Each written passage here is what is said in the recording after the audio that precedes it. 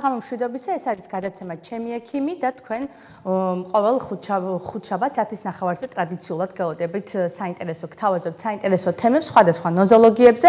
ამჯერად ჩვენ ოფთალმოლოგიაზე გესაუბრებით და ჩვენი გადაცემის სტუმარია ექიმი ოფთალმოლოგი, ლაზერული ქირურგი თამარ გოგიტიძე.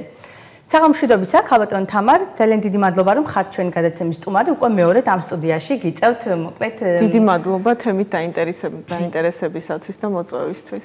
ჩვენ მე მგონი არ გვიყო წინა ეთერში დრო საკმაოდ მრავლობითია პათოლოგიები რომელიც თვალის ირგვლივ არსებობს და მოკლედ გავაგრძელებ ისე ოფთალმოლოგიაზე ბუნებრივია, მაგრამ გაცილებით უფრო ისეთ საინტერესო პათოლოგიებზე და იმ პათოლოგიებზე, რომლებიც ძალიან ხშირია მოსახლეობაში და ძალიან აქტუალურია პაციენტებში, დიახ, მაგრამ ვიდრე კონკრეტულად ნოზოლოგიებზე გადავალთ, ზოგადად ოფთალმოლოგიაზე რო ვისაუბროთ და როდის უნდა მიმართოს ადამიანმა ოფთალმოლოგს, იმიტომ რომ ზოგადად ჩვენ არ აგვაქვს ექიმთან ვიზიტის კულტურა, მაინც ადამიანს გამჯდარი და სანამ ისეთი ჩივილები არ გვექნება, არ ვაკითხავთ ხოლმე სპეციალისტებს. განსაკუთრებით, განსაკუთრებით ამაში მინდა გამოვყო ჩვენი დარგი ოფთალმოლოგი ფსიქოლოგია, თვალი, რომელმაც ძალიან იშვიათ შემთხვევებში იცის ტკივილი ხოლმე.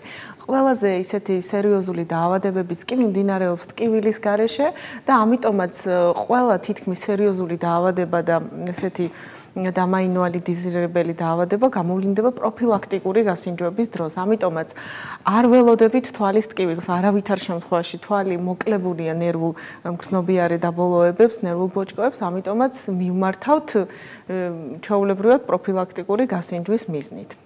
კი ბატონო, რა არის მაინც თანამედროვე გამოწვევები ოფთალმოლოგიაში? დიახ, როგორც მედიცინა ძალიან სწრაფად განვითარებადი დარგია და განსაკუთრებით ოფთალმოლოგია, რომელიც ძალიან ჭიდრო კავშირშია ტექნოლოგიებთან. აი იცვლება არა მარტო 10 წლეულები, არამედ ყოველი წელიც კი ძალიან მნიშვნელოვანია ჩვენს დარგში, იმდენად ფუნდამენტურად იცვლება ყველაფერზე წარმოდგენა. თანამედროვე ესე იგი ბოლო 5-10 წლის განმავლობაში ძალიან დიდი ძვრები მოხდა, თუნდაც ბადურის მიმართულებით, ბადურაში, ბადურის დაავადებების კურნალობაში ძალიან ბევრი რამე შეიცვალა.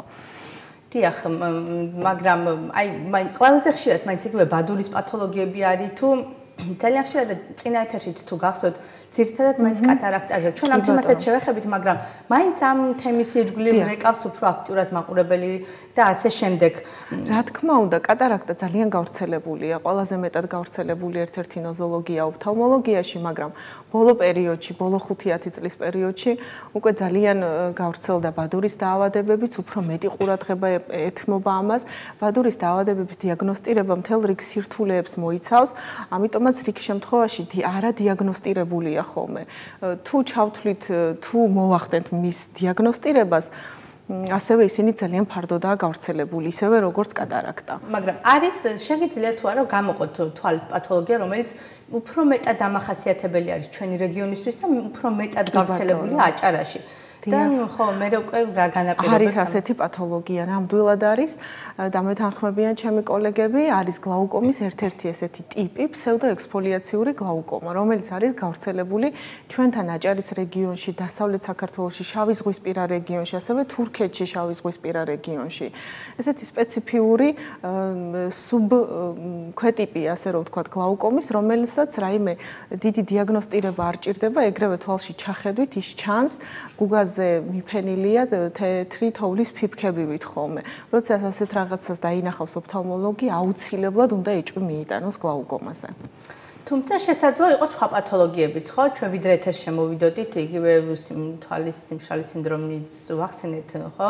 რაღაცა იცის ხოლმე საქერცვა ქუთუთოებმა, ან ეს სხვადასხვა სხვადასხვა პათოლოგია კი ჩვენ მსგავსი იყოს სიმპტომი, თუმცა არის განსხვავებული. სიმპტომი შეიძლება ძალიან მრავალფეროვანი უნდა იყოს. ამიტომ ამ ყველაფრის დიაგნოსტირებას და ჩამოყალიბებას ექიმი ახდენს. პაციენტ შეიძლება ძალიან ბევრი რამე აღენიშნებოდეს და დაიბნეს ესე რომ ვთქვა, ამიტომაც არსებობს ექიმი და სწორი დიაგნოზი.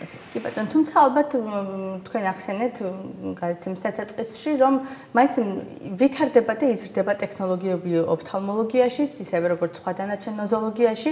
აი რა დაავადებებზე, თვალის რა პათოლოგიებზე შეიცვალა შეხედულებები, ითვლება რომ ქირურგიის გარეშე დაუშვათ შეიძლება მისი მკურნალობა, ან ეს აუცილებლად არ არის პირდაპირ პროპორციული მხედველობის დაკარგვის და ასე შემდეგ. დიახ, გიპასუხებთ, აი წეღანაც საუბრობდით ჩვენ თანამედროვე გამოწვევით, გამოწვევებით თვალში, ოფთალმოლოგიაში. ძალიან ბევრი ოპერაციული ტექნიკა შემომუშავდა, ძალიან ბევრი აპარატურა იქნა გამოგონებული და ძალიან ბევრ დაავადებას მკურნალობთ, მაგრამ არის მთელი რიგი დაავადებები, თუნდაც მხედველობის ნერვის, ბადურის დაავადებების და ეს ძალიან მინდა რომ იცოდეს მაყურებელმა. როცა მისი დაკარგული მხედველობის აღდგენა არ ხდება და უახლოეს რამოდენიმე წელიწადშიც ამის არ განიხილება. პერსპექტივაში პერსპექტივაშიც არ არის. ამიტომ ხშირად ხოლმე მოგმართავენ პაციენტები რომ აი სათვალეც კი არ მიშველის, ან ოპერაციაც კი არ მიშველის, არის ისეთი შემთხვევები, რომ მართლა ოპერაციაც არ არის დღის წესრიგში და რა თქმა უნდა სათვალეც. სათვალეზე მინდა კიდევ ყურადღება გავამახვილო, რომ სათვალე არ არის პანაცია, სათვალე ერგება ჩვეულებრივ ჯანმრთელ თვალს, სათვალე დაავადება არ არის, ამიტომაც დაზიანებულ თვალს სათვალე არ ერგება. და ძალიან მინდა რომ ეს პაციენტებმა იცოდნენ და ყოველთვის არიან სათვალის იმედად, რომ აი ბოლო გამოსავალი მაინც სათვალე, ეს ასე არ არის ხოლმე. ბატონო და ჩვენ თქვით რომ ბადურას თვალის ბადურასთან დაკავშირებული დაავადებები ძალიან მომრავლებულია მათ ჩვენს რეგიონშიც. მე მინდა ამას გადაცემის მეორე ნაწილში უფრო ვრცლად ვისაუბროთ. მანამდე გავიაროთ აი ეს კატარაქტა იმიტომ რომ გამოცდილებდა ვიცი რომ ძალიან აქტიურად რეკავს ხოლმე ამ თემის რგული ჩვენი მაყურებელი რა ხოც ხელს პათოლოგიის ხო კატარაქტის განვითარებაზეც გეტყვით და სანამ ეთერში შემოვიდოდით ვისაუბრეთ კიდე თქვენ თქვის რომ ჯერ 60 წლის იყო დაკ კარგ ამხედველობა და მე მოუვიდაო ხო თქვით 10 არ გაგეცით პასუხი ეხლა გაგცემთ მაგაზე პასუხს კატარაქტა ძირითადად ვითარდება ხანში შესულ ასაკში, მაგრამ არის რა თქმა უნდა თანდაყოლილი ფორმებიც ჩულ ბავშვებში, ну ეს ძალიან იშვიათია, მაგრამ არის. ძირითადად საუბრობ ჩვენ ძირითად მასაზე, ეს არის ხანში შესული ასაკი 60 წელსევით, 50 წელსევით. ეს იწევს ძალიან ბუნებრივი პროცესია ეს ბროლის შემკვრევა. ბროლი არის აბსოლუტურად გამჭვირვალე, მინასავით გამჭვირვალე და მას აქვს ძალიან კარგი ფუნქცია ღმერთიდან დაკისრებული, ესე რომ ვთქვათ, შეაკავოს ультраისფერი გამოსხივება, დამაზიანებელი ультраისფერი გამოსხივება. თუ ძალიან დიდხანს უხდება ადამიანს მზეზე ყოფნა, ან არა მარტო მზეზე ყოფნა, შესაძლებელია რომ ეს ბროლი დროთა განმავლობაში მთელი სიცოცხლის მანძილზე ემსახურა, ასე რომ ვთქვათ, ადამიანს და შეიმღვრა ბოლოს. ნორმალური პროცესია ეს. ეს არის კატარაქტა, ბროლის შემყრევა. ან ეს შესაძლოა არ იყოს არც მზის გავლენის გამო, არც თავშოთ სხვა ზემოქმედების გამო, ბუნებრივად მოხდეს უბრალოდ. კი ბატონო, კი ბატონო. თითქმის ანუ 60 წელსევით უმრავლესობას ეს რაღაც დაწყებითი ბროლის შემგროვები მაინც აღენიშნება ხოლმე. ხო, ხოლმე დიაგნოზ კატარაქტის შემთხვევაში ეს არის. ძალიან მარტივია, კი ბატონო, მარტივია ეს ჩვეულებრივად ბიომიკროსკოპის საშუალებით, როცა თვალში ჩავიხედავთ, ხედავთ ხოლმე ბროლი არ არის გამჭვირვალე, შემღრეულია. რა თქმა უნდა, მას თავისი სტადიები აქვს. ოპერაციული მიდგომაც, ჩარევაც, ჩვენებაც უკვე ეს ინდივიდუალურად ყველა პაციენტთან განიხილება. დიახ, და ერთი შეხედვით მარტივი გართულება თვალის თუ შეიძლება ასე ვთქვათ, ან სადიაგნოსტიკოთ მარტივი რაღაცა ძალიან შორს წასულ ფორმებთანაც შეიძლება გქონდეს. კი, კატარაქტა შეუძლია გაბრმავოს კიდაც ადამიანი, მაგრამ ეხლა ჩვენ ასე რომ ვთქვათ აფრიკის ქვეყნებში, სადაც ძალიან მართლა მედიცინა ჩამორჩენილია, ასე რომ ვთქვათ, და სადაც მზის გამოსხივება ძალიან მაღალია, კატარაქტა დაბრმავების წამყვანი მიზეზია. ამიტომ ეს არის დაბალი სამედიცინო განვითარება ქვეყანაში ამა თუ ქვეყანაში თუ ეს არის უბრალოდ დაგვიანებული ვიზიტით შეიძლება საკუთარ აღმოჩნდეს და მზის ძალიან დიდი გამოსხივება ასევე. ამიტომაც იქ ძალიან გავრცელებულია კატარაქტით დაბრმავება. ჩვენთანაც არის ხოლმე უკვე ძალიან ერთადერთი საშუალებაა ერთადერთი აქ ას ჩვენება რა თქმა უნდა სხვადასხვა შემღრევების დროს გააჩნია ეს დაწყებითია თუ რა სტადიის შემღრევა ამას განვიხილავთ პაციენტთან ურჩევნია მას ოპერაცია გაიკეთოს თუ არა მაგრამ ერთადერთი ქირურგიული საშუალება არის მკურნალობის. ერთადერთი წვეთებით სხვა ვარჯიშებით ეგრეთ წოდებული გამორიცხულია კატარაქტის მკურნალობა თუმცა დავუშვათ იმის რისკს რისკებს თუ შევაფასებთ კატარაქტასთან ერთად გლაუკომაც საკმაოდ სახიფათო ამ კუთხით ხო სიბრმავის კუთხით? გლაუკომა სახიფათოა რა თქმა უნდა ანუ ორი ერთი განმასხვავებელი ფაქტორია რომ კატარაქტით დაკარგული მხედველობა შეგვიძლია აღვიდგინოთ ხოლო გლაუკომით დაკარგულ მხედველობას ვერ აღვიდგენთ ძალიან დიდი სხვაობა. რატომ ანუ რა გამომწევს აქვს გამოარი? აი როგორც ვახსენი, ანუ შემგრეული ბროლი შეიძლება შევცვალოთ, გამჭვირვალე ბროლით, ხოლო გაუკომის შემთხვევაში მხედველობის ნერვი კვდება ატროფიას განიცდის და შესაბამისად ნერვს ვერ აღვადგენთ. და განწერულია? კი ბატონო, კი ბატონო. და შეიძლება რამდენ სწრაფად შეიძლება განვითარდეს? შესაძლებელია რომ დროული ვიზიტის გამო დავშვათ? კი ბატონო, რამდენიც გინდა ძალიან უცებ განვითარდება ეს პროცესი. ნელ-ნელა ვითარდება, რა თქმა უნდა ის რამოდენი წლების მანძილზე, თუ პაციენტი დროულად მოგმართავს, თვითონ საერთოდ ვერ ამჩნევს, ძალიან ხშირი მქონია ეს შემთხვევები, ბოლო 1 წლის მანძილზე ძალიან ბევრი გლაუკომის დიაგნოზი დაგვისვია ძალიან ადრეულ ეტაპზე, როცა პაციენტს საერთოდ არანაირი ჩივილი არ აქვს. Ну ეს მინდა გითხრათ რომ ყველაზე ძალიან კარგი ვარიანტია როცა პაციენტს აქვს ხედველობა და მას უსვამთ ასეთ სერიოზულ დიაგნოზს და მკურნალობთ დროულად. ბატონო მე გლაუკომაზე კიდევ მაქვს რამდენიმე შეკითხვა მაგრამ მანამდე მაყურებელს უპასუხო და შემდეგ აუცილებლად გავაგრძელებთ საუბარს. საღამო მშვიდობისა თქვენ პირდაპირ ეთერში ხართ გისმენთ. გამარჯობათ. კატარაქტის მკურნალობა თუ შეიძლება აი ოპერაციის გარეშე მადლობა ზარისთვის. ჩვენ პრინციპში ეთყობა მაყურებელი გვიან შემოგვიერთდა, იმიტომ რომ ჩვენ დავსვით ეს შეკითხვა, მაგრამ მაინც გამიმეორდებით ხალხთან თამარ. კი ბატონო, არ შეიძლება მხოლოდ და მხოლოდ ქირურგიული გზით. ძალიან მარტივი პასუხია აქ. ქირურგია. ძვირად ღირებულია ხალხთან თამარ, იმიტომ რომ არის დავშვათ რაღაცა სახელმწიფო პროგრამებიც ვრცელდება ამ კუთხით რაიმე. რა თქმა უნდა, კატარაქტა აბსოლუტურად 90%-ით ფინანსდება ეს ქირურგიული ჩარევა ჩვენი საყოველთაო ჯანდაცვის მიერ. და მოკლედ ბატონ შეუძლია მოგვართეთ. თან მე რამდენადაც ვიცი, ეს არის ძალიან ხანმოკლე პროცედურა, სადღაც 15 წუთი. გამარტივდა, მიდგომა შეიცვალა, აუცილებლად დავფიქრდეთ, რომ 20 წლის წინ, 30 წლის წინ კატარაქტის ქირურგიული მკურნალობა სხვა მეთოდი იყო და დღეს აბსოლუტურად სხვა მეთოდია. მაშინ ელოდებოდნენ მომწიფებას, იმიტომ რომ ქირურგიული ჩარევა იყო ძალიან საზიანო, ასე რომ ვთქვათ, რქოვანის დიდი განაკვეთი კეთდებოდა, მის რეაბილიტაციას, აღდგენას, შეხორცებას დიდი დრო ჭირდებოდა, ამიტომაც ოპერაციას გადაწევდნენ ხოლმე, მომწიფებას ელოდებოდნენ კატარაქტის. დღეს ასე არ არის. მომწიფებას კატარაქტის არ ველოდებით, იმიტომ რომ სხვა მეთოდით კეთდება და რაც უფრო ადრეულ სტადიაზე გაკეთდება, მით უფრო მარტივად და კარგად პაციენტისთვისაც და ქირურგისთვისაც, რა თქმა უნდა, უფრო ადვილია. კეთილი, მე იმედია, ჩვენი მაყურებელი განთავისუფლდება ამ პრობლემისგან. გლაუკომაზე საუბრობდი და მინდოდა მეკითხა. ძალიან რამდენიმე ფორმა არსებობს გლაუკომის, იგივე დახურული ხიაკუთხიანი ფორმები და ასე შემდეგ. რა განსხვავებაა მათ შორის და რა თავისებურებებით ხასიათდებიან ისინი? კი, აქვს თავისი თავისებურებები, რა თქმა უნდა, ღია კუთხოვანი გლაუკომა უფრო ვერაგია, ასე რომ ვთქვათ, პაციენტისთვის შეუმჩნეველია, მუდმივად მიმდინარეობს შეუმჩნევლად, ნელ-ნელა კარგავს პაციენტი მხედველობას და როცა უკვე გარკვეული რაოდენობის მხედველობა როცა აქვს დაკარგული, მე უკვე მიმართავს ექიმს, ხოლო დახურულ კუთხოვანი გლაუკომის შემთხვევაში თუ მწვავე შეტევა, მწვავე შეტევის დროს არის ძალიან დიდი ტკივილი, აუტანელი ტკივილი, ამიტომაც პაციენტი ეგრევე მიმართავს ექიმს ამ ხდება ემერჯენსის განყოფილებაში, მაგრამ რა თქმა უნდა ჩარევა უნდა მოხდეს სადღაც 24 საათის შიგნით, რომ გადავარჩინოთ ხედველობის ნერვი და საერთოდ არ დაკარგოს ხედველობა. განსხვავებულია რა თქმა უნდა. კი ბატონო, მე შემდეგ მაინტერესებს უბრალოდ რომ რა სიმპტომებით ხასიათდება, რომ შორს წასული ფორმები არ მივიღოთ გლაუკომის, რას უნდა მიაქციოს პაციენტმა ყურადღება? ძნელია პაციენტისთვის ძნელია, იმიტომ რომ ძალიან შეპარულად და ნელ-ნელა მიმდინარეობს თან ერთ თვალზე ხოლმე, ამიტომ ვერ ამჩნევს პაციენტი.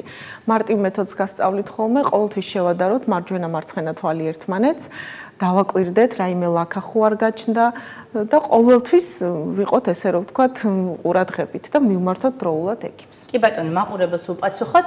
საღამო მშვიდობისა, თქვენ პირდაპირ ეთერში ხართ, გისმენთ. გამარჯობათ. გამარჯობათ, გამარჯობათ. გისმენთ. აი ისმის ჩემი ხმა. დიახ, ისმის. აი შეკითხვა მაქვს ის არის რა რაიონი დავრეკავ აი თვალში ჩამეყარა ისა რა ქვია ცემენტი მარჯვენა თვალში. დიახ. ხოლო მე მე ნელ-ნელა იმასქნა რა ქვია. ხედელობა დავკარგი და იქიდან რომ მივედი. პროგრამისტი და მეორე თვალში კაი ხედელობა მქა შედარებით და გლავკომა არის ვისაო გლავკომის ბრალიაო მაგრამ ანუ ცემენტის ჩაყრის ბრალი კი არ იყო, ანუ გლაუკომა გქონდათ ამ თვალში და არ იცოდი. ესე ჩემი ხარა, ცემენტი მაშინ ვიცი. მაშინ მიაქციეთ ყურადღება, დიახ, გასაგებია თქვენ. კი. რა კითხვა გაქვთ ახლა? დამე ხო დამინიშნა ბლიკბაუ ასეთი ტაბაკი. ბლიკბაუ, დიახ. ხო და სულ უნდა იწეთო, სულო. კი ბატონო. ანუ გვეკითხებით რომ მუდმივად ეს ქრონიკული მკურნალობა არის საჭირო თუ რაღაცა ხო, ალბათ ამას გვეკითხება პაციენტი. არა, ოპერაცია რამე არ შეიძლება, ხო? ანუ გვეკითხებით რომ რა მკურნალობის მეთოდები არსებობს? შეიძლება თუ არა ოპერაცია, ბატონი, ძალიან დიდი მადლობა ზარისთვის, შევეცდებით იპასუხოთ ამ მომწურავად. ანუ ძალიან ტიპიური შემთხვევაა ეს, როცა ანუ ვახსენე კიდეც რომ შეპარულად როცა მიმდინარეობს და ნელ-ნელა კარგავს ადამიანი მხედველობას, ვერ ამჩნევს ხოლმე და შეამჩნია მაშინ, როდესაც რაღაცა მოუვიდა და უკვე შეადარა ერთი თვალი მეორე თვალს და შეხედა რომ ერთ თვალში უკვე აღარ აქვს მხედველობა და მიმართა ექიმს. ტიპიური შემთხვევა ნამდვილად დაუნიშნა ხო. მუდმივად უნდა ის იწვეთოს თუ ანუ ოპერაცია არის შესაძლებელია. დიახ, როდესაც ინიშნება ანტიგლაუკომატოზური პრეპარატები, აუცილებლად ეს მთელი ცხოვრების მანძილზე მუდმივად და მუდმივი ვიზიტი ექიმი ადგენს. 3 თვეში ერთხელ თუ 6 თვეში ერთხელ, მუდმივი ვიზიტი ექიმთან და შესაძლებელია რომ სიცოცხლის სხვადასხვა ეტაპზე შეიძლება გლაუკომის ჩარევის მეთოდი შეიცვალოს. ან დღეს მაგალითად წამალი იყოს საკმარისი, ხვალ შეიძლება ოპერაციული ან მეთოდი გახდეს საჭირო. შეიძლება რომ მარტივად გადაწყვეტოს საკითხი, უბრალოდ გაიგეთოს ოპერაცია და თქვა ესე ესე არ არის. წამლებიც ვირადღირებულია. მესმის, მესმის, მაგრამ ასე არ არის. დიახ. ძალიან რთულია ეს. ქრონიკული დაავადება გლაუკომისგან არასოდეს ადამიანი არ ინკურნება. მიზანი პაციენტის ექიმთან ერთად ორივესი ერთად შეთანხმებული ურთიერთობა და არა ცალცალკე რომ ხედველობა ის ხედველობა რითაც დადგინდა ეს დიაგნოზი შეინარჩუნოს ცხოვრების ბოლომდე. რა მეთოდით მუდმივად წამლის წვეთებით ოპერაციით თუ რა ეს უკვე ინდივიდუალური შეფასების საგანია. ახლა მხედველები და დიაბეტით დაავადებული ადამიანები განეკუთვნებიან უფრო რისკ ჯგუფებს, ვისაც შესაძლოა გლაუკომა განუვითარდეს. რამდენად არის ასე? რეალობასთან გლაუკომასთან დაკავშირებით კიდევ პაციენტების სიტყვებს მოვიშველიებ ხოლმე, რომ აი რა დააშავა ნეტა ისეთი რა შეცდომა დაუშვა, რომ დაემართა გლაუკომა. არა, ადამიანს ვერ განსაზღვრავს ამას, რა შეცდომა დაუშვა, არსებობს გლაუკომის განვითარების რისკ ჯგუფები და არა უშუალოდ მიზეზი. მიზეზი არ არსებობს, რისკი არსებობს.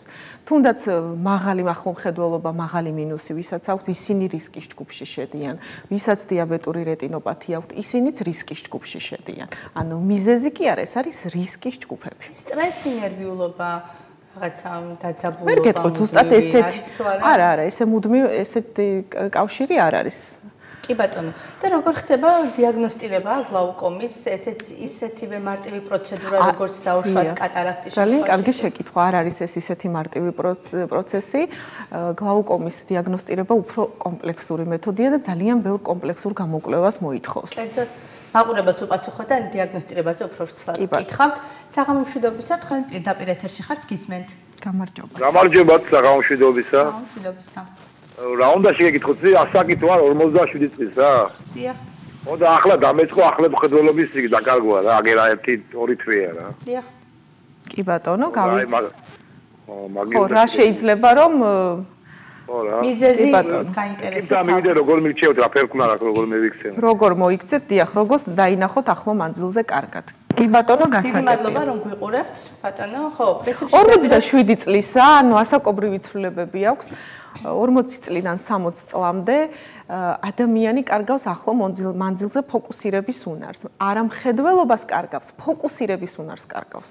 ამიტომაც მიმართოთ ექიმს და დავინიშნოთ საკითხავი სათვალე და არ ვიწვალოთ. ძალიან მარტივი გამოსავალია. პირველ რიგში ალბათ ექიმთან ვიზიტი, იმიტომ რომ ცოტა ესე დისტანციურად რთულია პრინციპში. კი, მიზეზი გასაგებია, ასაკობრივი ცვლილებები, პრესბიოპია, გვჭირდება საკითხავი სათვალე, რომელიც უნდა შეგირჩიოთ ექიმმა. დიახ.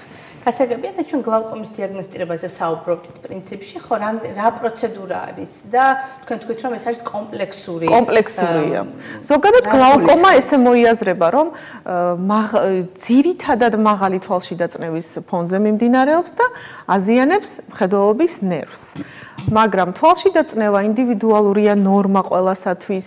ძალიან ბევრი მხედველობის ნერვი რა მდგომარეობაშია როცა პაციენტი ჩვენ მოგმართავს ამიტომ ყველაფერი ეს უნდა დაფიქსირდეს და ზუსტი დიაგნოზი დაისვას. ანუ მოვედი ერთ დღეში შესაძლებელია პრინციპში ხო?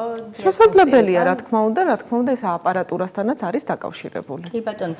კურნალობის ლაზერული მეთოდები.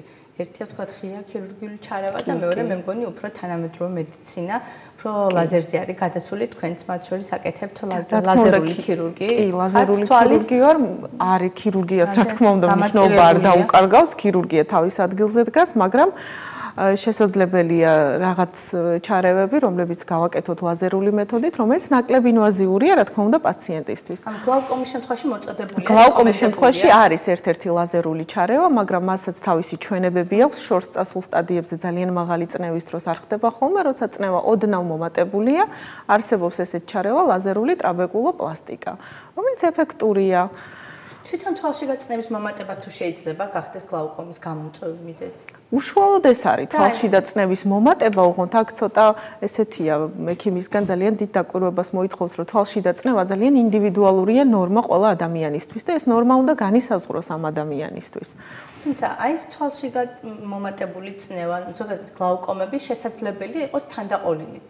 თანდაყოლილი შესაძლებელია იყოს ძალიან იშვიათი, თუმცა თანდაყოლილი. ამ შემთხვევაში დიაგნოსტიკა უფრო ადვილია, იმიტომ რომ თვალში საცემია ეს ჩვილ ბაუშს აქვს ძალიან დიდი ზომის რქოვანა გარსი და ეს სადიაგნოსტიკოდ არც ისე რთულია. საოპერაციო რაიმე განსხვავებული არის ამ დროს ქირურგიული ჩარევა, იქაც ლაზერული მეთოდებით. ამ შემთხვევაში ლაზერული მეთოდით ჩარევა არ ხდება, ამ შემთხვევაში არის ქირურგიული მეთოდით ჩარევა. ჩვილ ბაუშიც კი, კი ბატონო. შესაძლებელია რომ ზრდასრულ ასაკში ან ცოტა უფრო შორს ასაკში განმეორებით გახდეს ქირურგიული ჩარევის აუცილებლობა საჭირო. როცა თანდაყოლილი გლაუკომა. როცა თანდაყოლილია დიახ. კი ბატონო, შესაძლებელია რა თქმა უნდა, ანუ ჩვენი მიზანი არის რომ თვალში დაწნევა მუდმივად ნორმაში იყოს და თუ ნორმაში არ იქნება, შესაძლებელია სხვადასხვა ჩარევის აუცილებლობა დადგეს. პრინციპში და თუ კი ეს არის შეძენილი ამ შემთხვევაში რეციდივის წინაშე, ანუ თუ ყოფილა უბრალოდ პრაქტიკაში შემთხვევა, როდესაც რა იცით, ანუ როგორც ვახსენე ხოლმე, გლაუკომა არის ქრონიკული, არ ინკურნება, ამიტომაც შესაბამისად სხვადასხვა ცხოვრების სხვადასხვა ეტაპზე სხვადასხვა მკურნალობის მეთოდები გახდება საჭირო.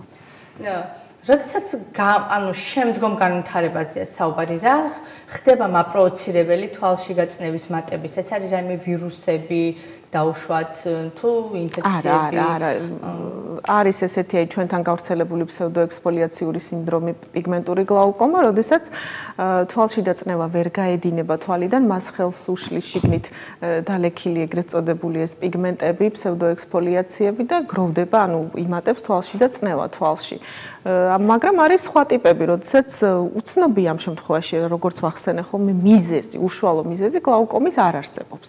არის რისკ ჯგუფები. როდესაც ორსულ ქალბატონებზე საუბრობთ, აი ამ შემთხვევაში ამდენ უფრო არიან თუ არა ეს ქალბატონები ამ რისკის წინაშე, ამდენ საფათოა მოკლედ. ერთი ასეთი ძალიან აქტუალური თემა, ვისაც აქვს ახლო მხედველობა, მინუსი ეგრეთ წოდებული, ძალიან ხშირად მოგმართავენ რომ და თვითონ გვეუბნებიან ხოლმე, ჩემთვის არ შეიძლება მშობიარობა. მინუსი, რამდენი არის პლუსი, მინუსი, -3, -5, ეს არ განსაზღვრავს იმას, მშობიარობა შეიძლება თუ არა. მშობიარობა, ანუ ფიზიოლოგი მშობიარობაზე გვაქვს საუბარი. დაკავშირებულია ჭინთვებთან, ხო? ამ შემთხვევაში თვალში არ უნდა იყოს გათხელებული ან ბადურა გარსი, ან რქოვანა გარსი, კერატოკონუსი და ბადურის დეგენერაციები, ნახეთქები არ უნდა იყოს. ამ შემთხვევაში, რა თქმა უნდა, წინააღმდეგ ნაჩვენებია ფიზიოლოგიური მშობიარობა. სხვა შემთხვევაში თუ ნორმაშია თვალის სტრუქტურები, ანატომიურ ნორმაშია, რატომაც არა -3 ან -5 თუნდაც არ არის იმის წინააღმდეგ ჩვენება, რომ ფიზიოლოგიური მშობიარობა ჩატარდეს. გასაგებია, პრინციპში ძალიან ბევრი შეგვიძლია ვისაუბროთ იგივე კატარაქტებზეც, გლაუკომებზეც, ძალიან შორს წაგვიყვანს და რო სხვა ქართულებებსაც თვალი შევეხოთ, საკმაოდ ხშირია აგრეთვე კონიუნქტივიტები. ხო, რაღაცა კი ბატონო. და ქრონიკული არის სამდენადაც ვიცი თუ შესაძლებელია ქრონიკულიც არის ხშირად უფრო ხშირად მაინც არის მწვავე სხვადასხვა სეზონურობაც ახასიათებს. სეზონურობაც ახასიათებს, არის ალერგიული სეზონურობა ახასიათებს ბავშვებში განსაკუთრებით. ძალიან ხშირია მიკრობული, ადენოვირუსული კონიუნქტივიტები ძალიან მომრავლებულია. ამიტომ ყოველს თავისი სქემა აქვს დანიშნულება სწორად მკურნალობის შემთხვევაში, რა თქმა უნდა, ველით კარგ გამოსავალს. ანუ შესაძლებელია, რომ არ გადაიზარდოს ეს ქრონიკულში და რა თქმა უნდა, კი ბატონო, კუპირება მოხდეს რამოდენიმე დღეში. მაგრამ მედიკამენტოზურია ხო მალამოების გამო. დიახ, რამინდა კიდევ ხაზი გაუსვა კონიუნქტივიტებთან დაკავშირებით. ამ ზაფხულში გქონდა ძალიან ბევრი შემთხვევა, სულ ბოლოს სადღაც ერთი თვის უკან გქონდა. ადენოვირუსული და ზოგადად ვირუსული კონjunქტივიტების კერატიტების დროს წინააღმდეგ ნაჩვენებია ესეთი პრეპარატია დექსამეტაზონი. სტეროიდი, რომელიც წინააღმდეგ ნაჩვენებია და ძალიან ხშირად პაციენტები მიდიან და ეკითხებიან ფარმაცევტს, რაღაც მომეცით წვეთები. არავითარ შემთხვევაში გთხოვთ არ მიხვიდეთ და ფარმაცევტს არ სთხოვოთ. მიდით ექიმთან ჩაიტარეთ დიახ, იმიტომ რომ შეუძლია ძალიან სერიოზული გართულებების, რქოვანა შემღვრევების გამოწვევა და ამის ბევრი შემთხვევა გქონდა სამწუხაროდ. და ყველა იწვეთებდა სტეროიდს. აი, ჩემთვისაც სახალი იყო ეს ინფორმაცია ხალხთან თავად. კი, კი, არავითარ შემთხვევაში ფარმაცევტს არ დაეკითხოთ, მინდა მოგმართოთ, მიბრძანდით ექიმთან თვალის დაავადებების დროს.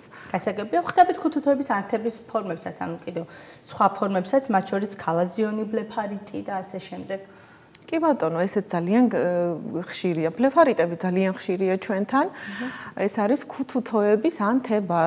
ხშირ შემთხვევაში ქრონიკული ანთება, ძალიან პაციენტისთვის ძალიან არაკომფორტულია, იმიტომ რომ მუდმივ კურნალობას მოითხოვს. მუდმივად ქუთუთოების ჩამობანა, მუდმივად მალამოების მოხმარება, წვეთების მოხმარება, თან ქრონიკული არ ინკურნება, ამიტომაც პაციენტი მუდმივად შეწუხებულია, მაგრამ სწორი მკურნალობის ჩატარების შემთხვევაში შესაძლებელია რემისია გქონდეს დიდხანს, სადღაც რამოდენიმე თვე კარგად ვიყოთ, ამიტომაც მე ესეთი შეკითხვა მაქვს თქვენთან პრინციპში მან ბოლო პერიოდში და ბოლო ათწლეულის განმავლობაში არ არსებობს მე მგონი პროფესია, არ არსებობს ფაქტიურად სამსახური, სადაც ადამიანებს არ გვაქვს შეხება კომპიუტერთან, მობილურთან და ძალიან დიდ დროს ვატარებთ ხოლმე. ამდენ ნეგატიური გავლენა აქვს. იგივე ამ ანთებითი პროცესების ჩამოყალიბებას, თვალის გაღიზიანებას, ხშირად ხარი ხოლმე, რომ აი ეს გადაღლილობა, ჩაწითლებული თუ ეს სიხნარევი კაპილარები ხო თვალებში და აი ეს პროცესები თუ შეიძლება რისკ ფაქტორებად განვიხილოთ რიგი დაავადებების ჩამოყალიბების. კი ბატონო, 21 საუკუნეში ძალიან გავრცელებული ეგრეთ წოდებული დაავადება არა, უფრო სინდრომია, მშრალი თვალის სინდრომი. ეს არის გამოწვეული გაჯეტებით, რა თქმა უნდა, კომპიუტერებით, პლანშეტებით, ტელეფონებით და კონდიცირებული გარემოთი. ჩვენ მუდმივად ზამთარს აფხუვართ კონდიცირებულ გარემოში. ამიტომაც ეს აშრობს თვალს, გამომშრალი თვალი, შეგრძნება გაქვთ ქვიშის შეყრის შეგრძნება, ქავილი, მუდმივად წვის შეგრძნება. ეს არის მშრალი თვალი, რომელიც ახასიათებს როგორ გითხრათ, აბა თითქმის 100% მოსახლეობას, ვინც ქალაქში ცხოვრობს, არა მარტო ქალაქში, სოფლადაც. ამიტომაც როგორც ვიყენებთ ხოლმე დამატ დამატენიანებელ კრემს კანისთვის, ასევე უნდა გამოვიყენოთ თვალისთვისაც დამატენიანებელი წვეთები და მუდმივად. ამ წვეთებს გამოვიყენებთ მუდმივად. ესეგებია მაყურებელს უპასუხო და შემდეგ გავაგზავნებთ საუბარს. საღამო მშვიდობისა თქვენ პირდაპირ ეთერში ხართ გისმენთ. საღამო მშვიდობით. გესმით ჩემი ხმა? ცოტა ცუდად ისმის. ალიო. როდის ფიგურები ჩვეულებრივ მარცხენა თვალის ყურებით ხომ წინ ჩიდება წვრილი შავი ლაქა რა იწევს სამშავდა კი ბატონო როცა მზერა გადაგაგვთ ანუ როცა თვალს ამოძრავებთ ეს ლაქა მიყვებათ მოყვებათ თუ ერთ ადგილას არის საერთოდ ყოველთვის ფასი გავიხედავ იქ არის საითაც გავიხედავ საითაც გაიხედავთ მიყვებათ ეს ლაქა ხო კი ბატონო გავიგეთ თქვენი კითხვა კი პასუხი მადლობა ზარისთვის დიახ არ ამბობს რომ მიყვება ეს ლაქა ერთ ადგილზე არ არის მოძრავია, ნამდვილად არ არის ეს საშიში მდგომარეობა, ესეთი შემღრევებია თვალში, მინისებრ სხეულში, საშიში არ არის, შეგიძლიათ მშვიდად იყოს, ეს ლაქები მეც ძალიან ბევრი მაქვს. ამის რაიმე სამკურნალო მეთოდი ძალიან გაგიკვირდებათ, მაგრამ არ მოუგონიათ, იმიტომ რომ ძალიან ღრმადაა თვალშია.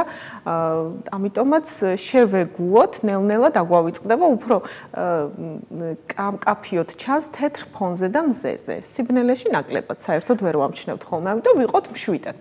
და იმ საშიში არ არის. არაფერდულობა დაგვაქვს. კი ბატონო, და ჩვენ საუბრობთ თვალის სიმშრალის სინდრომზე, რაღაც ტექნიკასთან კავშირის შედეგად მიღებულ გართულებებზე. ეფექტურია თუ არა ამ დროს სათვალის ან ლინზების გამოყენება, ვიცით ხშირად, რომ ხშირად ადამიანები თვითნებურად ხო, აი რაღაცას ვირჩევთ ხოლმე სათვალეს და ერთგვარი აქსესუარი გახდა, ხო? რამდენიც მიზანშეწონილია იქ სპეციალისტის რეკომენდაციის გარეშე, ცა ესე გამოყენება. არის ესეთი ესეთი გავრცელებული დამცავი კომპიუტერული სათვალეები, თუმცა ვერ გეტყვით ახლა უშუალო რეკომენდაციები ესეთი დამცავი სათვალეების ოფთალმოლოგთა ასოციაციების მიერ მოწოდებული არ არის. ამიტომაც მეც რეკომენდაციას ვერ გავუწევ. ერთადერთი რაც მოწოდებულია და რეკომენდაცია არსებობს, ეს არის ადამიანი, რომელიც მუდმივად მუშაობს კომპიუტერთან და კონდიცირებულ გარემოში მოიხვანოს თვალის დამატენიანებელი წვეთები, რომლებიც სახლში არ უნდა ეედოს, უნდა ეედოს კომპიუტერთან, კომპიუტერის წინ რომ არ დაავიწყდეს და დროულად ჩაიწვეთოს დღეში რამოდენიმეჯერ. კარგით, ჩემექიმში რეკლამის რო ჩვენ აუცილებლად გავაგზავნებთ საუბარს. დაგველოდეთ სულ რამდენიმე წუთში რეკლამის შემდეგ დავბრუნდებით. საღამოშვიდობისა, ჩემი ექიმის პირდაპირ ეთერშია ჩვენ დღეს ოფთალმოლოგიაზე. გესაუბრებით სტუდიის სტუმარია ექიმი ოფთალმოლოგი, ლაზერული ქირურგი თამარ გოგიტიძე. გავაგზავნებთ ქალბატონ თამარ საუბარს. პრინციპში ძალიან ბევრია და ვრცელი ჩამონათვალი იმ ვირუსების რომელსაც რაღაცა თვალის ამა თუ იმ პათოლოგიის გამოწვევა შეუძლია რომელი ვირუსები გვხდებათ უფრო მეტად პრაქტიკაში და რომელი მათგანია გავრცელებული იმიტომ რომ ძალიან გავრცელებულია. განხილვა ძალიან რთულია ბლომად არის მაგრამ ყველაზე უფრო მეტად. ყველა ვირუსი შეუძლია ციტომეგალოვირუსის ჩათვლით თვალი დააზიანოს.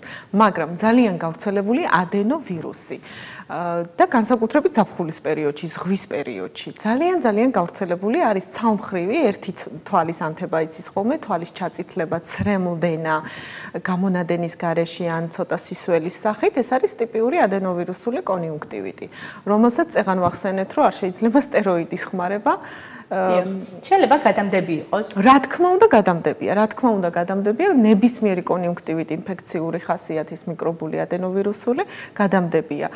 ვურჩევ პაციენტებს ხოლმე ამ შემთხვევაში ანთების დროს არ გამოიყენონ პირსახოცი, მოიხმარონ ხოლმე ერთჯერადი ხელსახოცების, სახე შეიმშრალონ ერთჯერადი ხელსახოცი. ანუ არა ჰიგიენური წესები, ჰიგიენის წესების დარღვევა ხდება გამოწვევი. ზღვიდანაც შეიძლება ეს, რა თქმა უნდა, იმუნური სისტემის დაქვეითების შედეგად. შედეგადაც.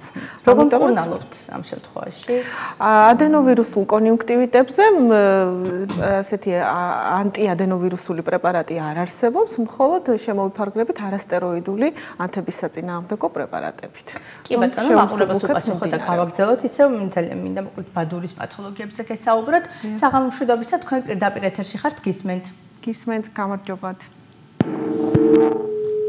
კაითიშა სამწუხაროდ ჩვენი მაყურებელი მედია ისევ დაგვიკავშირდება და ვიდრე მოკლედ აი ამ ბადურაზე გესაუბრებით, ბარემ საცრემლე გზების ანთებებზეც კითხოთ და ამით მოკლედ ანთებებზე საუბარს. ძალიან საინტერესოა, რომ მშრალმა თვალმა შესაძლებელია ცრემდენა, პირიქით ცრემდენა გამოიწვიოს, ამიტომაც ესეც დიაგნოსტიკურად ესე გავყოთ უნდა, რომ მშრალი თვალია ეს თუ საცრემლე არხია დაზიანებული და ცრემლი შესაბამისად ვერ გაედინება თვალიდან.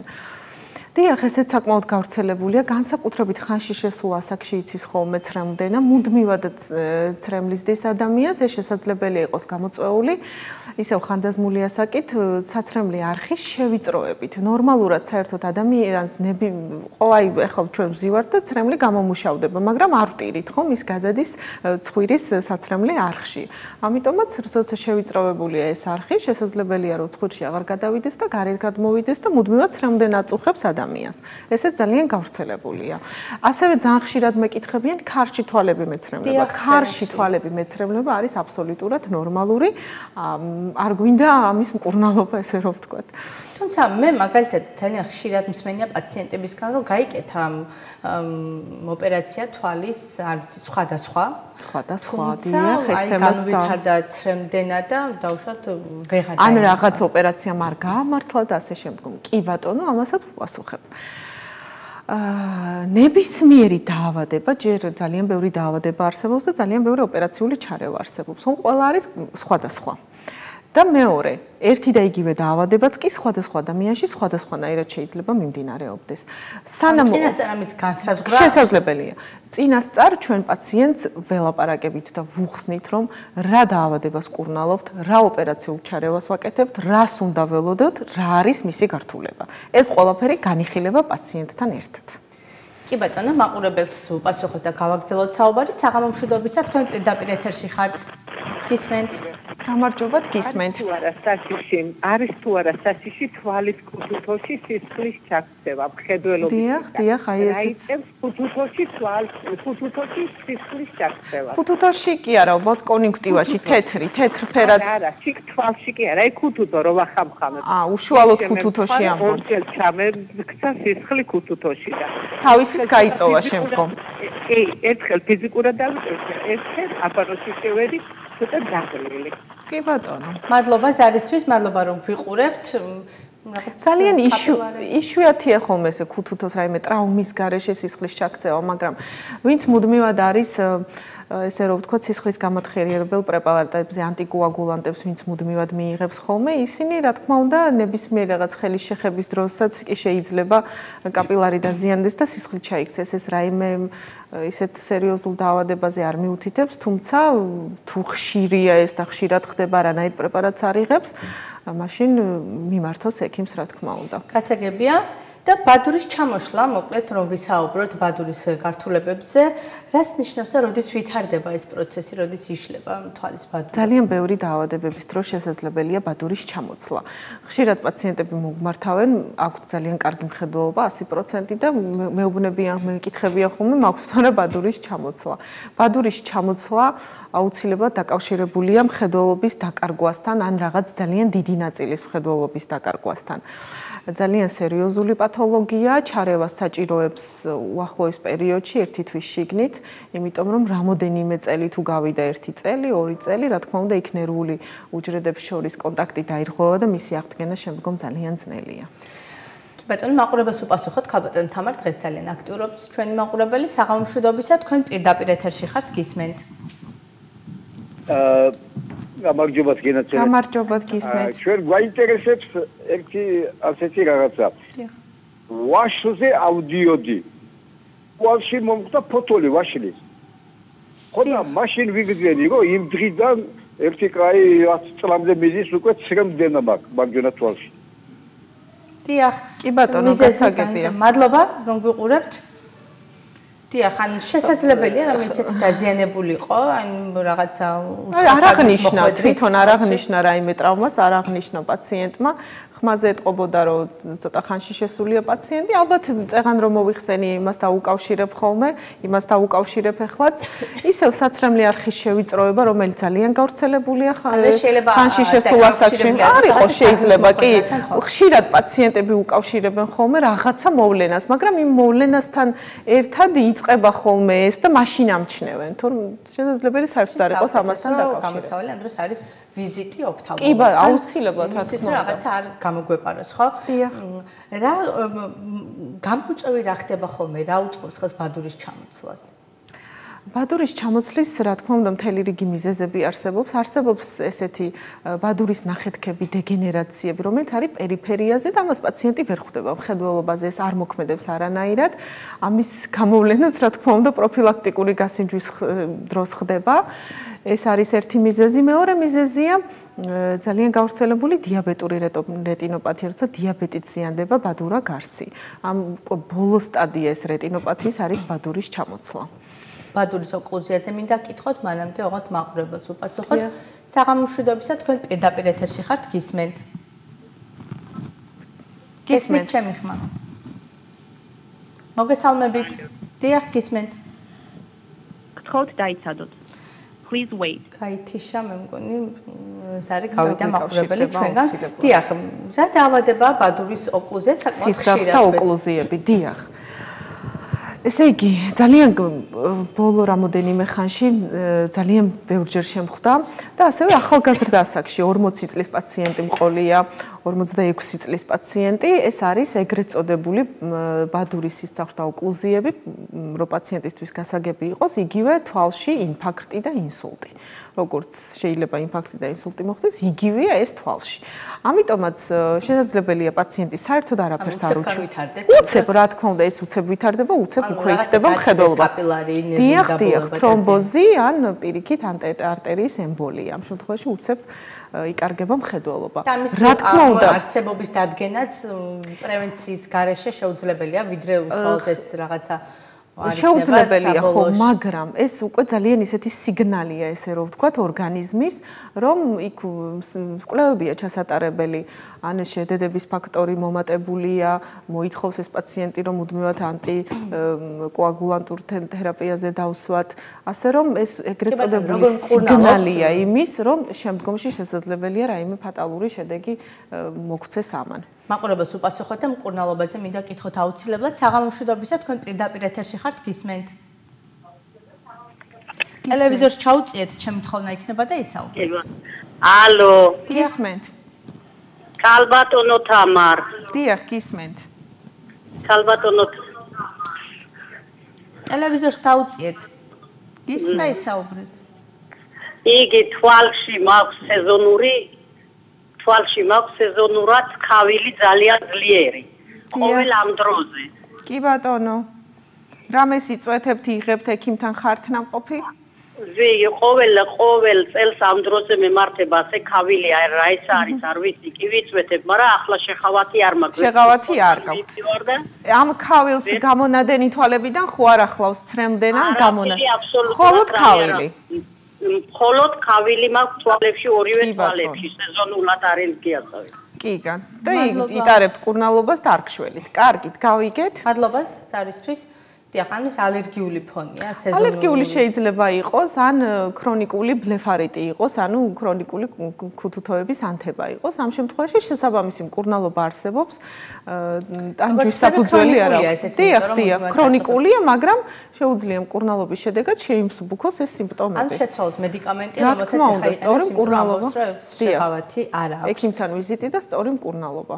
დიახ, და აი პათოლოგიები, მკურნალობის ემ, მეთოდები მაინტერესებდა ამ ბადურის პათოლოგიებთან დაკავშირებით, იგივე დიახ, ოკლუზიებთან. ოკლუზიებთან კი თრომბოზებთან დაკავშირებით. როგორ ხდება აა, განკურნება? დიახ. თუ ხდება საერთოდ. ხშირად თრომბოზი იწვევს სისხლჩაქცევას და ბადურის შეშუპებას, რის შედეგადაც მკვეთრად ქვეითდება მხედველობა, მკვეთრად, გამოხატულად. არ არ არსებობდა ამის 20, 25, 30 წლის წინ ამის კურნალობის მეთოდი არ არსებობდა. ბოლო 10 წლის მანძილზე შემოვიდა ეგრეთ წოდებული პრეპარატი, რომელიც უშუალოდ თვალში კეთდება. ანუ ბადურას ის თავისებურება ახასიათებს, რომ წვეთი ბადურამდე ვერ აღწევს. უშუალოდ ბადურამდე უნდა მივიტანოთ ჩვენ პრეპარატი. ამიტომაც არსებობს სპეციალური მედიკამენტი, რომელიც თვალში და ინექციის სახით უშუალოდ მიგვავს ბადურასთან და საკმაოდ კარგი შედეგები გქონია 100%-მდე მომატებიათ მხედველობა, რაც ძალიან კარგია თრომბოზების შემთხვევაში. ალმენს არ არის პრინციპში, როგორც ხვდები, ასაკობრივი პათოლოგია ნებისმიერ ასაკში შეიძლება. ნებისმიერ ასაკში იცით რომ უკვე ინფარქტი, ესე რომ ვთქვათ, გულის დაავადებები ძალიან გაახალგაზრდა და სისწავთა დაავადებები ძალიან გაახალგაზრდა და ამიტომაც 40 წლის ასაკიდან ძალიან ხშირად ეს ხდება. ნიშნავს იმას თუ არა რომ აი ეს ოკლუზები განვითარდება ერთ თვალში და გადავა აუცილებლად მეორეში თუ ორივეში თანაბრად გადავა არა ეს როგორც ანუ ეს სისხლძარღვთა პათოლოგია, ამიტომაც შესაძლებელია ის დღეს თვალში მო- მოხდეს, ხვალ შეიძლება თავის წვინში, ზეგ შეიძლება გულში, ამიტომაც ძალიან ძალიან სერიოზულად უნდა მოვეკიდოთ ამ ამბავს. კი ბატონო. დიაბეტური რეტინოპათია არანაკლებ რთული გართულებაა თვალის როგორ დაახასიათებთ მას და შემდგომ ბუნებრივია. დიაბეტური რეტინოპათიის არის კლასიფიკაცია, საკმაოდ რთული კლასიფიკაცია, მისი დიაგნოსტირება საკმაოდ რთულია. ბევრ აპარატურულ მოწყობილობას მოითხოვს, ექიმის სპეციალურ კვალიფიკაციას მოითხოვს, ბადურის სპეციალიზაცია, ანუ კი შეიძლება მაყურებელმა იფიქროს, რომ თვალი ესეთი პატარა დარგია, მაგრამ თვალშიც არის ძალიან ბევრი სუბმიმართულებები. ესეთია მიმართულება ბადურის სპეციალიზაცია. დიაბეტური რეტინოპათია თუ ეს დიაგნოზი დაისვა, საბოლოო ჯამში ის ადამიანს აბრმავებს. ამიტომაც ჩვენი მიზანი ამ შემთხვევაში მხედველობის შენარჩუნება, სწორი დიაგნოზით, სწორი მკურნალობით დასაწყის სტადიაზე, ლაზერული ზემოქმედებით ბადურაზე, იგივე შესამჩნევია პათოლოგია საწყის შესამჩნევი არის როგორ აი ისე დანიშნებით კლასიფიკაციაზე გითხარით, ანუ ერთი ტიპი არსებობს, როდესაც მაკულის შეშუპებით მიმდინარეობს ხოლმე, შეშუპება ძალიან აკლებს ადამიანს ხედველობას, ეგრევე მოგმართავს. არის მეორე ტიპი, როდესაც მაკულის შეშუპების გარეშე მიმდინარეობს, ამ შემთხვევაში არ აკლდება პაციენტს ხედველობა და ზოგჯერ ძალიან დაგვიანებულადაც მოგმართავს ხოლმე. ამ მაგრამ ენდოკრინოლოგებმა, ოფთალმოლოგებმა ყველამ ვიცით, რომ დიაბეტით დაავადებული ადამიანი მისი ჩივილების არარსებობის მიუხედავად წელიწადში ერთხელ მაინც პროფილაქტიკურ გასინჯვაზე ექიმთან, ოფთალმოლოგთან მიდის. ოპერაცია არის ამ დროს საუკეთესო გამოსავალი. თუ ეს დიაგნოზი დაისვა, თავისი სტადიის და მიხედვით თავისი ჩვენება აქვს. ანუ რა სტადია შეიძლება ლაზერი იყოს ნაჩვენები, შეიძლება ოპერაციული ჩარევა ან მეთვალყურეობა. თუმცა შაქრიანი დიაბეტიც საკმაოდ საკმაოდ კი არა ქრონიკული პათოლოგია. აქედან გამომდინარე შესაძლებელია თუ არა რომ აი ეს იგივე ოპერაციები ერთხელ ნამკურნალები რეტინოპათია რაღაც რეციდივი მოხდეს მეორედ, მესამედ. კი ბატონო, თუ რა თქმა უნდა ვერა კონტროლებს შაქრის დონეს სისხლში. ცოტა ასე რომ ვთქვა, აღებული აქვს ხელი ამ ყველაფერზე. რა თქმა უნდა, ეს სისტემურია ეს პრობლემა და ჩვენ რაც არ უნდა თვალზე კონცენტრირება მოვახდინოთ, რაც არ უნდა შრომა გავწიოთ, ეს ყველაფერი ისე უკან ბრუნდება და პაციენტებს ვაფრთხილებთ კიდეც, რომ ჩვენ ამ ძალიან დიდ შრომას დებთ თქვენს, ჩვენს და არ ჩავყაროთ წყალში და რა თქმა უნდა, ვაკონტროლოთ ენდოკრინოლოგიის დანიშნვას, შადანიშნულება შევასრულოთ. აი თრომბოზებზეც რომ ვისაუბროთ, ну ოკლუზიები პრინციპში გავიგეთ, მონათესავეა ეს თრომბოზებზე ვერ დიახ, ანუ ოკლუზიები, აი ერთი არის, როდესაც ვენაში, როდესაც არტერიის გაჭედვა ხდება, მეორე შემთხვევაში ვენის.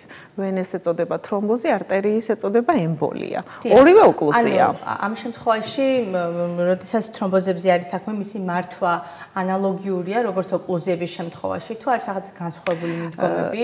ემბოლიის შემთხვევაში, ანუ თრომბოზების შემთხვევაში უკვე ვთქვით, რომ ეს თვალში დაინექცია კეთდება, ემბოლიის შემთხვევაში ემბოლია უფრო სერიოზულია, გააჩნია კიდევ რომელი ტოტია, თუ ცენტრალური არტერიის ემბოლია, მაშინ სიბრმავე ვითარდება ეგრევე და თუ 24 საათში ეგრევე არ ჩავერიეთ, იმის აღდგენა შეუძლებელია. მყავდა ერთი პაციენტი, რომელიც ერთადერთი პაციენტი მყავდა, ძალიან იშვიათია ეს ემბოლია და იმიტომ, რომელმაც მომმართა მესამე დღეს სრული სიბრმავე იყო უკვე და ძალიან გვიან იყო რაიმე ჩარევა, თუმცა ამ პაციენტს ვერ დავარწმუნე და ისევ იმედი ქონდა, რომ რაღაც ოპერაციული ჩარევით ეშველებოდა, თუმცა სამწუხაროდ არა. დიახ და გარდა დიაბეტისა, არის თუ არა პათოლოგიები, ალბათ უფრო თავის ტვინთან დაკავშირებული პათოლოგიები, რომელსაც სიბრმავის ან უბრალოდ მხედველობაზე პრობლემების შექმნა შეუძლია და რა არის ყურაცაღები ამ დროს პაციენტს. თვალი არ არის ეს ცალკე ორგანო, რა თქმა უნდა, დაკავშირებულია თავის ტვინთან და მხედველობის ნერვი, ინფორმაცია, ანუ თვალი კრებს ინფორმაციას და მხედველობის ნერვს ის მიაქვს თავის ტვინში და თავის ტვინი აღიქვამს საბოლოოდ ამ ინფორმაციას. ამიტომაც ნებისმიერი მხედველობის ნერვი რა გზასაც გაივლის ბოლოს კეფაში მიდის, ის თავის გზაზე თუ რაიმე წინაღობა დაგხვდა, ან სიმსივნური წარმონაქმნი ან რაიმე, ყურადღება თქმა უნდა ეს გავლენას იქონიებს მხედველობაზე და პაციენტი მიმართავს ოფთალმოლოგს. მე უკვე ოფთალმოლოგი, ნევროლოგი ერთდროული ერთიანი ძალებით კი ბატონო.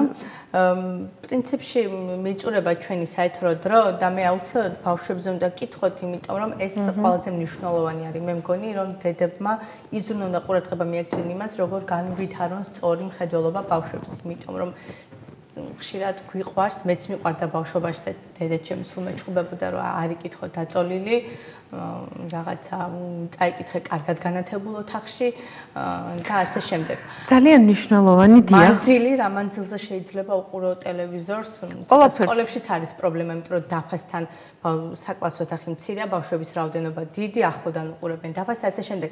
მოკლედ რამდენად ყველაზე ძირითაც გამოვყოფ თუ რაიმე პათოლოგია ბავშვი თავისით ვერ იტყვის ხოლმე. ამიტომ აუცილებელია ამერიკაში არის თავისი 1 წლის ასაკში, 3 წლის ასაკში, დაბადებისთანავე რა თქმა უნდა, 6 წლის ასაკში ბავშვი პროფილაქტიკურად მიყვავს ექიმთან. ჩვენთანაც 5 წლამდე ასაკში ოფთალმოლოგის მომსახურება საყოველთაო ჯანდაცვის პირობებში არის სრულიად უფასო, ვისარგებლოთ ამით. თუმცა ვიდრე წლამდე ყალიბდება მხედველობა. თუ ბავშვს რაიმე ან მინუსი აქვს, ან პლუსი აქვს, შესაბამისად იმ თვალში მხედველობა დაუქვეითდება, თუ 5 წლამდე არ მოხდა შესაბამისი სათვალის დანიშნვა, ან შესაბამისი თუ ოპერაციული ჩარევაა საჭირო, შემდგომ არის გვიან ხოლმე თვალი ზარმაცდება. გაზარმაცებულ თვალს შემდგომ მხედველობას ვეღარ ვასწავლით. ამიტომაც ბავშვი მივიყვანოთ ექიმთან, თუ რაიმე პრობლემაა, სანამ მხედველობა სრულად ჩამოყალიბებდა, ჩამოყალიბდება, მანამდე აღმოფხრათ ეს პრობლემა. პრობლემა. დიახ, თუმცა მე უფრო აი ეს მინდა რჩევის სახით რომ მშობლებს რომ ვიდრე დავშოთ რაღაც გართულებას მივიღებ, რაღაც უკვე მიდრეკილებას იქითკენ პლუსისკენ თუ მინუსისკენ, აი მანამდე რომ განვითარდეს. ბავშვს რა თქმა უნდა დავაკვირდეთ, რომ თვალები არის კოორდინირებულად მოძრაობს, ანუ ორივე თვალი ერთ მხარეს იყურება, რაიმე გადახრა არ არის, ამას უნდა დააკვირდეს მშობელმა. მშობელმა უნდა დააკვირდეს, რომ შორიდან რამოდენიმე მეტრში გწნობთ, ხედავთ ბავშვი ამას უნდა დააკვირდეს რა თქმა უნდა და ამ შემთხვევაში თუ რაიმე არ მოეწონება რა თქმა უნდა უნდა მიმართოს ექიმს და ოფთალმოლოგს. დიახ. თუმცა აი ყვეთი შუქი თბილი განათება ჩვენ ან დავშვათ რა თქმა უნდა ეხლა სასურველია რომ გართობის მიზნით ძალიან ხშირად ხოლმე ესეთ პლანშეტთან პლანშეტს მივცემთ ბავშვს და გაერთობა და აღარ შეგვაწუხებს ხოლმე ძალიან მარტივია მაგრამ მოვარიდოთ ნამდვილად 5 წლამდე ასაკი და საერთოდ ისედაც რაც უფრო ნაკლებ დროს გაატარებს გაჯეტებთან, რა თქმა უნდა, უფრო კარგია. აქვს თუ არა მნიშვნელობა იმ მაგალითად ფერადი განათებები ხშირად მორთულობისთვის, პატარების განწყობისთვის გნება თუნდაც სასკოლო ასაკის იყოს, მშობლები ცდილობენ რაღაცა ნათელი ფერებით, თქვა გაუნათონ ოთახი, ან მეცადინეობის დროს დავშვათ ლამპასთან. დროს უნდა იყოს, რა თქმა უნდა, სამეცადინო არე განათებული შესაბამისად. ციბნელი არ უნდა იყოს. ესე რომ ვთქვა, რომ რაიმე ფერადი შუქები მოქმედებს ხდობაზე და აზიანებს აღიზიანებს თორე. ზოგადად გამაღიზიანებელია თორე რომ ვთქვათ რომ აზიანებს თვალს შუქი, ესეთი რა თქმა უნდა არ არსებობს. კი ბატონო, მოკლედ თქვენ ზარმაცი თვალის ახსენეთ და ბარემ ვიდრე დავასრულებ ამაზეც კითხავ თვალის ვარჯიშები თუ არის რეკომენდებული და მიზანშეწონილი მოზარდებმა, ზრდასრულებმა თუ ხანში შესულმა ადამიანებმა რომ გააკეთონ იმისთვის, რომ ეს ეგრეთ წოდებული ზარმაცი თვალის სინდრომი ავირდო. რაი რაღაცა ვარჯიშები დავშვათ არა. ახლო და შორს მხედველობს გადატანა და პირიქით. არის ესეთი ვარჯიში, ვიხვევთ კარგად მხედველ თვალს და ვავარჯიშებთ ცუდად მხედველ თვალს. ეს ძალიან ძალიან კარგი ვარჯიშია. სხვა ვარჯიშები ძალიან ავიხვევთ ერთ თვალს, რომელთაც კარგად ხედავთ და მეორეთი შევეცდებთ, მაგრამ ჩაულებრივად, მაგრამ ბავშვებს დიდი პროტესტის გრძნობა აქვთ, რადგან იმ თვალი ცუდად ხედავენ, მაგრამ ეს არის ძალიან კარგი შედეგის მომცემი ყოველდღიურად სისტემატიურად თუ ამას ვაკეთებთ და შესაბამის ასაკში, რა თქმა უნდა, 5 წლამდე, 7 წლამდე პერიოდში მე უკვე აზრი არ აქვს, კარგი შედეგის მომცემია. კი ბატონო, ჩვენი საერთო დრო პრინციპში ამოიწურა, თუ კი თქვენ გსურთ და მე გამორჩა რაიმე მნიშვნელოვანი, რაც თქვენ ფიქრობთ, რომ აუცილებლად ჩვენმა მაყურებელმა უნდა იცოდეს, თუ არა და გამოსულა. მე მგონი ყველაფერზე ძალიან ამუნწურავად ვისაუბრეთ, უხრმესი მადლობა. ხო, ჩემი რჩევა იქნება, მოკლედ, რომ დაუყოვნებლივ მიმართონ ექიმებს, იმიტომ რომ თვალი ეს არის ორგანო, რომელიც ვიდრე უკიდურეს ფორმამდე არ მივა, რაღაცა ესათვის პათოლოგია არ ხასიათდება მაინცა და მაინც ტკივილებით, ამიტომ ექიმთან ერთად ჩემი რჩევაც იქნება, რომ პრევენციის მიზნით პერიოდულად მიხვიდეთ ოფთალმოლოგთან და გამოიკვლიოთ თქვენი თვალი. ეს იყო გადაცემა ჩემი ექიმი, ჩვენი ეთერი სტუმარი იყო ექიმი ოფთალმოლოგი, ლაზერული ქირურგი თამარ გოგიტიძე სტუმართან ერთად 1 საათის განმავლობაში პირდაპირ ეთერში სტუდიაში თქვენთვის მე თამარ კიკნაძე მუშაობდი ერთმანეთს მომდევნო ხუთშაბათს შევხვდებით ნახვამდის. Thank you.